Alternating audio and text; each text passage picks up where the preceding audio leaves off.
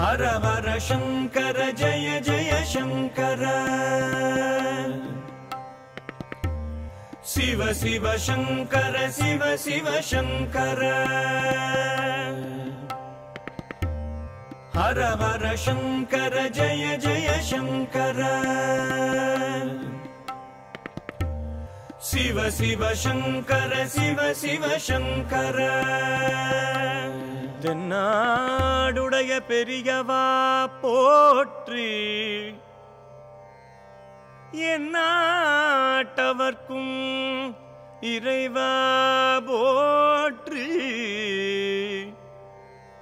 சர்வஜா சர்வவியாபி பெரியவா ஷரணம் மாயப்பிறப்பருக்கும். மகா பெரியவா அடி போற்றி. நமஸ்காரம். காஞ்சி மகாபிரிவாளோட திருத்தொண்டர்கள்ல ரொம்ப மிக முக்கியமானவர் ஸ்ரீ பாலு சுவாமிகள் அப்படின்னு சொல்லக்கூடிய பாலு மாமா.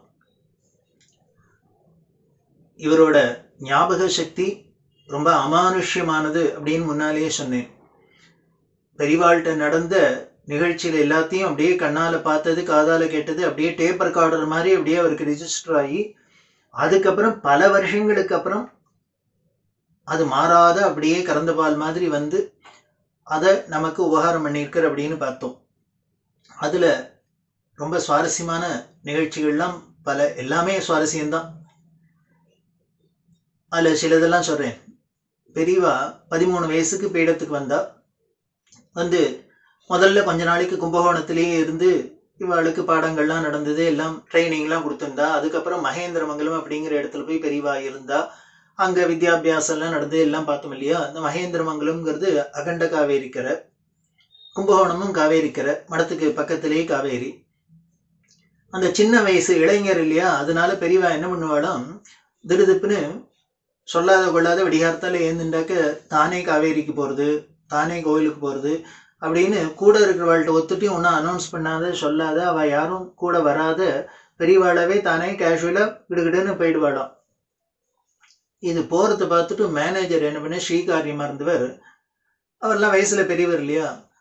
அவருக்கு எப்படி இதை கரெக்ட் பண்ணுறது அப்படின்னு புரியலையா? அதனால் அவர் என்ன பண்ணினாராம் ஒரு நாளைக்கு ஒரு பேப்பரில் அஞ்சாமல் தனி வழியே போக வேண்டாம் அப்படின்னு பேப்பரில் எழுதி பெரியவாளோட படுத்துக்கிற அந்த மேனா வச்சுட்டு போயிட்டாராம்.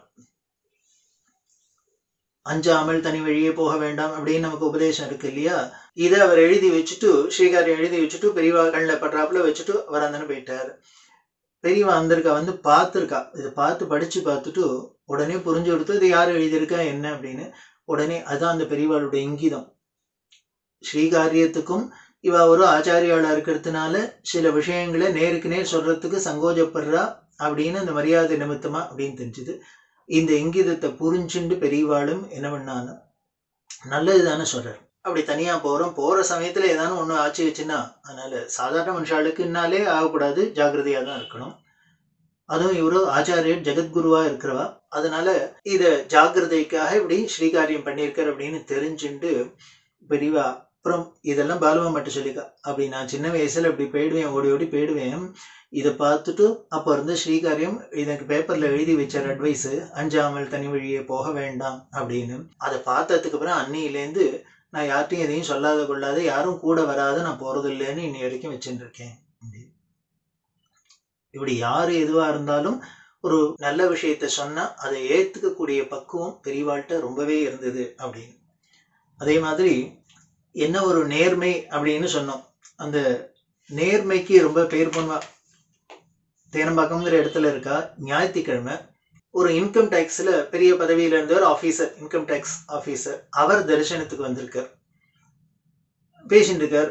பேசிட்டு இருக்கிறது ஏதோ பெரியவா அவள்கிட்ட பேசிட்டு முன்னால் பார்த்தா ஒரே தேங்காய் பழம் அது இது பாதாம் முந்திரின்னு குமிஞ்சிருக்கு.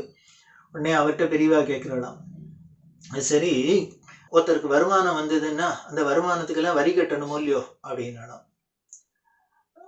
ஆமாம் வரி கட்டணும் அப்படின்னு. அப்போ எனக்கு வருமானம்னா இதெல்லாம் தானே அப்படின்னா நீ பார்த்துட்டுருக்கியே இதை பாரு எனக்கு வருமானம் என்னெல்லாம் வந்திருக்கு? இப்படி தேங்காய் பழம் புஷ்பம் பாதாம் முந்திரி இதெல்லாம் தான் வந்திருக்கு. அப்போ இதுக்கெல்லாம் நான் டேக்ஸ் கட்டணுமோ? எனக்கு இனிமேல் பணம் அப்படின்னு இன்கம்னு சொன்னாக்க மானிட்டரி வேல்யூவில் என்னன்னு தெரியாது. நான் சன்னியாசியாக இருக்கிறதுனால எனக்கு வரதெல்லாம் இப்படி தான் வருது சாமானாக வருது. இதுக்கெல்லாமும் நான் வரி கட்டணுமோ? அப்படின்னா அவர் உடனே சிரிச்சுண்டு இதுக்கெல்லாம் யாரும் வரி கேட்பாடு அதுவும் பெரியவாள்கிட்ட போய். அப்படின்னா உடனே நீ அப்படின்னு சொல்ற?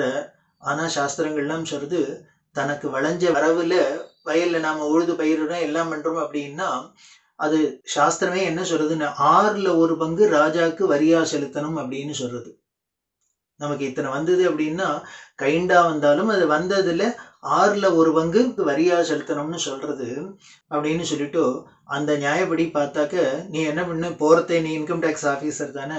இந்த வந்திருக்கிற தேங்காய் பழம் எல்லாத்துலேயும் எத்தனை இருக்கோ அதை போட்டு அதில் ஆறில் ஒரு பங்கு வேணா நீ டேக்ஸாக எடுத்துன்னு போய். இது தமாஷ் மாதிரி இருக்கு. ஆனால் பெரியவா யாரான நம்மளாவே நமக்கு வர இன்கம்க்கு யாரான இன்கம் டேக்ஸ் ஆஃபீஸில் போய் எனக்கு இவ்வளோ வந்திருக்கு நீங்கள் வரி வாங்கிக்கிறீங்களான்னு சொல்லுவோமோ பெரியவா யாரா அப்புறம் சொல்ல யாரா இருந்தாலும் சரி வந்து சட்டம்னா சட்டம் தர்மம்னா தர்மம். இதை இந்த இன்கம் டேக்ஸ் ஆஃபீஸரும் ரொம்ப இந்த பெரியவாளோட நேர்மையை பார்த்து சந்தோஷப்பட்டு அதே மாதிரி கலவைங்கிற இடத்துக்கு பெரியவா போயின்னு இருக்கா இவ வண்டியில் சாமான்லாம் வச்சுருக்கோம் எல்லாமே தள்ளு வண்டி அந்த ரிக்ஷா பிடிச்சுட்டே போவா. இந்த கலவைன்னு ஒன்று ஞாபகம் வருது. கலவையில் தான் பெரியவாளோட குரு பரமகுரு ரெண்டு பேரோட சமாதியும் இருக்கிற இடம் பிருந்தாவனா இருக்கிற இடம். அந்த பரமகுருவோட ஆராதனைய இந்த பாலு மாமா தான் எடுத்து வருஷா வருஷம் சிவராத்திரிக்கு முன்னால வரும் அஷ்டமியில வரும். இந்த பரமகுரு ஆராதனையை இந்த பாலு மாமா தான் ரொம்ப ஸ்ரத்தையா ஏற்பாடு பண்ணி அரேஞ்ச் பண்ணி பண்ணுவார். இந்த கலவை பிரிவாளோட பரமகுரு ஆராதனை இந்த பாலு மாமா தான் முன்னின்று நடத்தியிருந்தார் கடைசி வரைக்கும். அந்த கலவைக்கு போற போறதே அப்போ அரிசி பஞ்சம் இருந்தது தட்டுப்பாடு இருந்தது. அதனால அங்கங்க எல்லையில டிஸ்ட்ரிக்ட் டிஸ்ட்ரிக்ட் செக் போஸ்ட் எல்லாம் போட்டு யாரானா அரிசி கடத்தல் நடக்கிறதா நெல் கடத்தின்னு போறாளா அரிசி கடத்தின்னு போறாளா அப்படின்லாம் செக் பண்ணுவாளாம். அதுக்காக அந்த செக் போஸ்ட் எல்லாம் போட்டுது. பெரியவா போறா பெரியவாளோட தள்ளுவண்டியில சின்னவாள்லாம் போயின்னு இருக்கா. போனோடனே பெரியவா என்ன ஏதுன்னு கேட்டா இது மாதிரி இந்த அரிசி தட்டுப்பாட்டினால செக் போஸ்ட் போட்டிருக்கு அப்படின்னு. இந்த பெரியவாளை பார்த்தோன்னே அந்த செக் போஸ்ட்ல இந்த அதிகாரிலாம் என்ன வந்து நமஸ்காரம் பண்ண வந்துட்டா. வந்தா பெரியவா உடனே அவள்கிட்ட கேட்கிறாளாம் இந்த செக் போஸ்ட் போட்டு நீங்கள் ஏன் இங்கே இருக்கு அப்படின்னு. இல்லை இல்லை அரிசி கடத்தல் ஒரு ஜில்லா விட்டு ஜில்லாக்கு போகாத இருக்கணுங்கிறதுக்காக அரசாங்கம் போட்டுருக்கு அப்படின்னு. உடனே அப்போ நீ என்ன பண்ணு? என்னோட அந்த வண்டி இருக்குது அந்த வண்டியை செக் பண்ணிவிடும் அப்படின்னு. உடனே சொல்கிறா அதில் நெல் பொறி தான் நான் சாப்பிட்றேன். அதை தான் எடுத்துன்னு வராய்வா எனக்காக. ஒரு மூட்டை கட்டி ஒரு பெரிய மூட்டையில் இருக்கும். எடுத்துன்னு போகிறா வந்து அதுவும் அரிசி சம்பந்தம் தான் நெல் சம்பந்தம் தான். அது எடுத்துன்னு போகலாமா போகக்கூடாதா? என்ன கலவைக்கும் காஞ்சிபுரத்துலேருந்து டிஸ்ட்ரிக்ட் மாறுறது. அப்படி எடுத்துக்கப்படாதுன்னா நீ அதெல்லாம் வேணா இங்கேயே வச்சுட்டு போயிடுறேன்ப்பா. அப்படி. இது பாலு சொல்ல அவள்லாம் அந்த அதிகாரிலாம் சிரிச்சு சா நீங்க சாப்பிட்றதுக்கு எடுத்துன்னு போகிறத பத்தி ஒன்றும் அரசாங்கம் சொல்லல. இது அவ கடத்தல் பண்ணி அவ இதனால கொள்ளலாம் அடிச்சு இது மாதிரி பண்றதுக்காக அதை தடுக்கணுங்கிறதுக்காக தான் இது மாதிரி சட்டத்திட்டம் வச்சிருக்கே வழிய நியாயமா ஜெனுவினா எடுத்துன்னு போறதுக்கு ஒன்றும் தடை இல்லை அதுவும் நீங்கள் உங்களுக்கு அது தடையா இருக்கும் சொல்ல போறது? அதனால எடுத்துன்னு போகலாம் அப்படின்னா உடனே பெரியவா சொல்ல இல்லைப்பா யாராக இருந்தாலும் அதை செக் பண்ண வேண்டியது உன்னோட கடமை இல்லையோ அதுக்காக சொன்னேன். நீ என்னை பார்த்துட்டு என்னோட பொசிஷனை பார்த்துட்டு எனக்காக நீ எதை வந்து எப்படி விட்டு செக் பண்ணுறதுன்னு உனக்கு தர்மசங்கடம் இல்லாத இருக்கணுமே அதுக்காக தான் நான் சொன்னேன். இப்படி பலவசம் இப்படி போகிற இடத்துலலாம் பெரியவா இப்படி தான் எல்லாத்தையும் நடந்துப்பா. எங்கே போனாலும் சட்டத்திட்டம் சட்டத்திட்டம். அதுக்கு உட்பட்டு நடக்கணும் அதுக்கு உட்பட்டு நடக்கணும். அந்த தர்மம் இருக்கணும் நேர்மை இருக்கணும். இதுதான் பெரியவாளோட வாழ்க்கையா இருந்தது பெரியவா பெரியவா பெரியவான்னு உலகம் அத்தனை பேரும் கொண்டாடுறதுக்கு காரணம் என்னன்னு. பாலுமாமா சொல்றப்பல அவளோட அந்த நேர்மையும் சத்தியம்தான். அப்படி ஒரு வெளிப்படையான வாழ்க்கை. அங்க ஒளிவு கிடையாது மறைவு கிடையாது கள்ளம் கிடையாது கபடம் கிடையாது ஒரு செயற்கை கிடையாது போலி கிடையாது. அப்படியே நிர்மலமான ஸ்படிகம் மாதிரி பெரியவா இருந்ததுனால்தான் அத்தனை பேராலையும் பெரியவாள்கிட்ட ஒரு பிரியம் வைக்க முடியுமா இருக்கு? அதுதான் அந்த பெரியவாளோட ரகசியம். பெரியவா பெரியவான்னா என்ன? ஏன் உலகமே அப்படி. அந்த பெரியவாள்கிட்ட ஒரு அன்பு ஏற்படுறது பிரியம் ஏற்படுதுன்னு அப்படி அப்படி ஒரு நேர்மை அப்படி ஒரு அப்பழுக்கற்ற தூய வாழ்க்கையாக இருந்திருக்கா அப்படி. இப்படி பண்ணிட்டே இருப்பா. அப்பப்போ மௌனத்தில் இருப்பா இல்லையா? ஒரு நாளைக்கு இவர்கிட்ட சொல்கிறாளாம் வாயை காமிக்கிறா காலை காமிக்கிறா இப்படிங்கிறா. அபிநயம். வாயை காமிச்சு காலை காமிச்சு இப்படி முழுக்கு போடுறாப்புல. இப்படி காமிச்சுட்டே இருக்கா இவருக்கு புரியலையாம். என்ன வாயை காமிக்கிறா காலை காமிக்கிறா முழு- இப்படி முழுகிறதுன்னா குளிக்கிறதுன்னு தெரியறது. வாயை காமிச்சா காலை காமிச்சா என்னன்னு தெரியல. இப்படி திருப்பி திருப்பி அபிநயம் பண்ணிகிட்டே இருக்கா பெரியவா ஜாட காமிச்சுட்டே இருக்கா. அப்புறம் கொஞ்ச நேரம் இவர் ரொம்ப கெட்டிக்காரர். அந்த பெரியவாளோட இந்த அபிநயத்தை பெரியவாளோட குறிப்பறிஞ்சில் இவர் ரொம்பவே கெட்டிக்காரர். உடனே டக்குன்னு புரிஞ்சுன்னுடுவார் அப்புறம் தான் திடீர்னு ஞாபகம் வந்தது இன்னைக்கு அமாவாசை அமாவாசை அன்னைக்கு குளிக்கணும்னு பெரியவா ஸ்நானத்தை பத்தி சொல்றா அப்படின்னு ஏன்னா அந்த டைம் ஸ்நானம் பண்ற டைம் ஸ்நானத்தை பண்ணி அப்புறம் தான் ஞாபகம் வந்து வாயையும் காலையும் காமிச்சோன்னு ஓ வாய்க்காலுக்கு அழிச்சுன்னு போச்சு சொல்றா அமாவாசை ஸ்நானத்துக்கு. கால்வாய் வாய்க்கால் அப்படின்னு இல்லையோ? பெரியவா சொல்லுவா என்ன கால்வாயும் வாய்க்காலும் என்ன ரெண்டும் ஒண்ணு தானே வார்த்தையை மாத்தி போட்டிருக்கு அவ்வளவுதான். பக்கத்துல ஒரு வாய்க்கால் ஓடுறதான் அதுல போய் ஸ்நானம் பண்ணணும் அவங்க ஸ்நானம் பண்ணணுங்கிறதுக்காக வாய்க்காலுக்கு அழிச்சுன்னு போ ஸ்நானத்துக்குங்கிறதுக்கு அபிநயம். வாயை காமிச்சு காலை காமிச்சு. அதுக்கப்புறம் இவர் புரிஞ்சுட்டு போ வாய்க்காலுக்கு போகணுமா? ஸ்நானத்துக்கு அப்படின்னா. "ஆஹ், ஆமா அப்படின்னு அப்புறம் சொல்றா இப்படி எல்லாம் வேடிக்கை பண்ணுவா. வாய்க்காலுக்கு அழிச்சுன்னு போறதுக்கு ஸ்நானத்துக்கு அபிநயம். வாயை காமிச்சு காலை காமிச்சு. அப்படி இருக்கிற பெரியவா தான் நேர்மையோட இருந்ததில்லை. எப்படி வரவாளுக்கும் அந்த நேர்மையை பொறுப்புணர்ச்சியை உபதேசம் பண்ணினாங்கிறதுல ரொம்ப முக்கியமா இருந்தா ஒரு இளைஞர் ஒருத்தர் கல்யாணமானவர் குடும்பஸ்தர் தான்.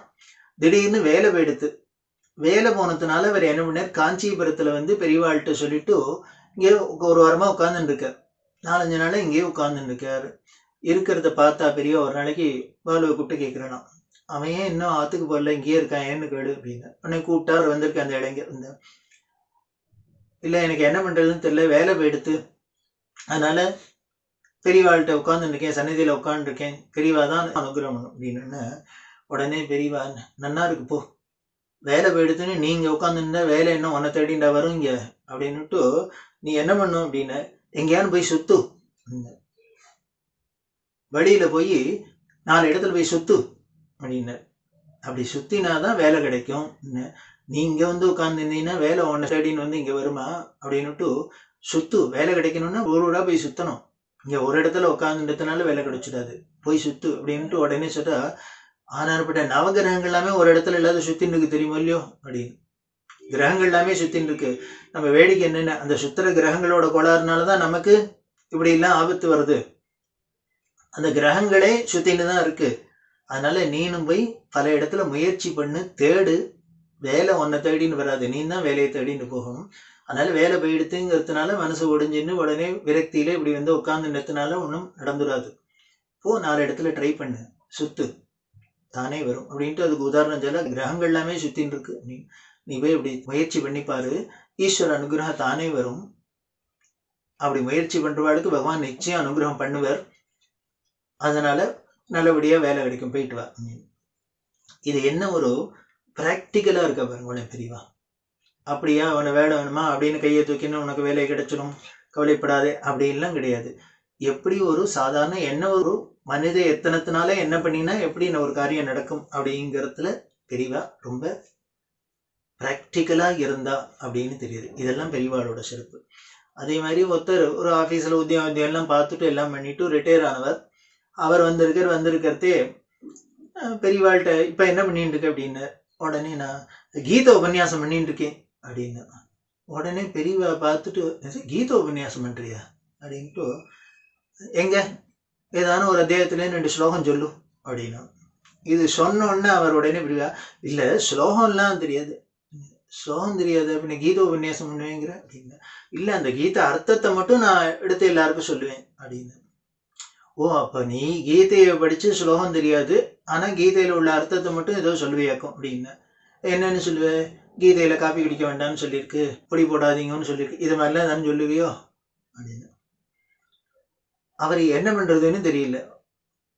முழிக்கிறார். உடனே பிரிவாக சொல்கிறா இந்த நீ கீதை உபன்யாசம் பண்ண வேண்டாம் ஒன்றும் பண்ண வேண்டாம். முதல்ல நீ என்ன பண்ணு?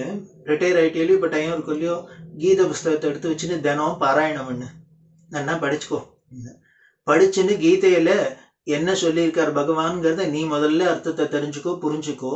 உன் வாழ்க்கையில் அதை ஃபாலோ பண்ண பாரு நீங்க. ஏன்னா கீதைங்கிறது சாதாரண விஷயம் இல்லை. பகவானோட வாக்கு பகவான் வாச்ச சாட்சாத் பகவான் நேருக்கு நேர் உபதேசம் பண்ணினது.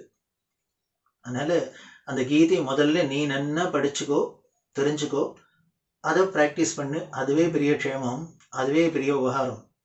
அப்படின்ட்டு அவருக்கு சொன்னால் அவர் போயிட்டார். அவர் என்ன நினச்சிருந்த ஏதோ இப்போ கீதை சொல்கிறேன் அப்படின்னாக்க பெரியவா அப்படியா? ரொம்ப நல்ல காரியம் பண்ணுற ஊருக்கு உபகாரம் பண்ணுற அப்படின்னு சொல்லுவாளாக்குன்னா நேர ஆப்போசிட்டாக பெரியவா என்ன நீ முதல்ல படித்து தெரிஞ்சுன்னு நீ ஒன்றை ஒரு சரி பண்ணிக்கோ. இதான் பெரியவா. இப்படி சுவாரஸ்யமான பல நிகழ்ச்சிகள்லாம் பாலுமாமா நமக்கு பெரியவாள்கிட்ட பார்த்ததை நமக்கு கொடுத்துருக்கு. அப்படி இருக்கிற அந்த பாலுமாமாவோட அந்த நிகழ்ச்சிகளில் இன்னும் பல விஷயங்களை தொடர்ந்து பார்க்கலாம்.